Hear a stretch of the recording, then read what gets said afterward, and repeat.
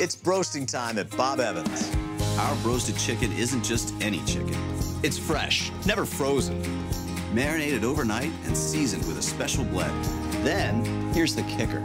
We drop in small batches into our broaster that locks in all the juices.